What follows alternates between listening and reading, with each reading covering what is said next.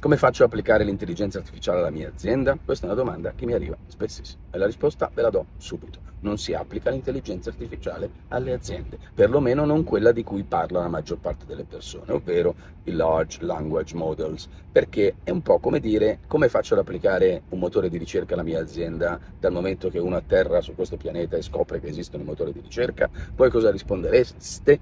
E non si applicano i motori di ricerca, si usano ehm, a seconda di cosa ti è comodo. La segretaria può fare un search, il CEO può andare a vedere chi, chi, sono le persone prima di incontrarle e avanti così con tutte le cose che avete in mente, ricerca di immagini, cioè ci sono veramente mille cose che si possono fare. Ed è la stessa cosa dei large language model, ma non è che la integri, non è che integri, a meno che ovviamente tu non abbia un'azienda, faccio un esempio, ospedaliera eh, o di ricerca, dove eh, utilizzi algoritmi che sono in grado di riconoscere le immagini, di fare, eccetera, oppure che ne so io, ti occupi di traffico, devi riconoscere il movimento degli automobili, ma non è sicuramente quello a cui si riferiscono quando mi chiedono come faccio a applicare l'intelligenza artificiale alla mia azienda.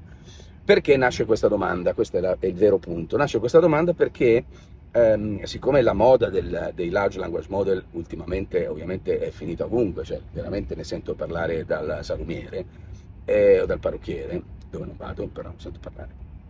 E quindi di conseguenza i fuffaguru hanno creato un bisogno, cioè dicono io ti insegno a come si fa ad applicare l'intelligenza artificiale alla tua azienda eh, il massimo che riescono a fare ti spiegano come devi scrivere i prompt, cosa peraltro che il tempo che hai finito di impararli sono già cambiati, ehm, no? eh, a, nei confronti dei vari modelli, vari, dei vari strumenti.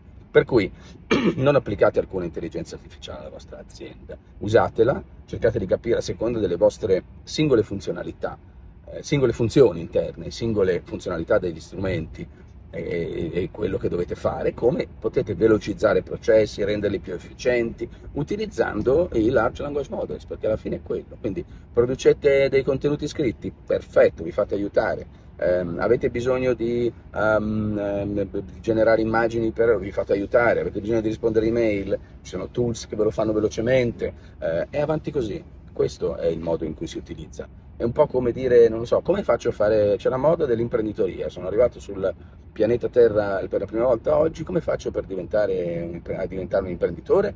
Come se esistesse un modello solo. Cioè, ci sono delle cose che devi sapere, come si crea un'azienda, come si tiene un conto economico, no? Ma per il resto devi tu esplorare il mercato e capire dove c'è bisogno, come lo posso coprire e ognuno, come ben sapete, nel, nel mondo imprenditoriale lo fa a modo proprio, lo fa a modo suo.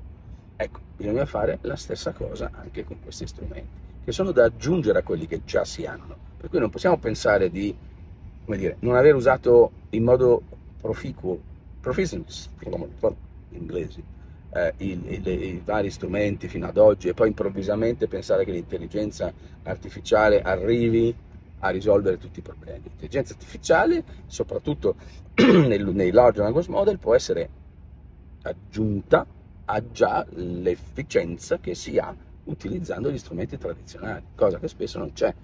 No? Cioè, se, beh, co, co, vedo aziende che, che, fanno foto a documenti e li mandano via PDF come fotografia, però vogliono implementare l'intelligenza artificiale. No, non funziona così, mancano dei pezzi.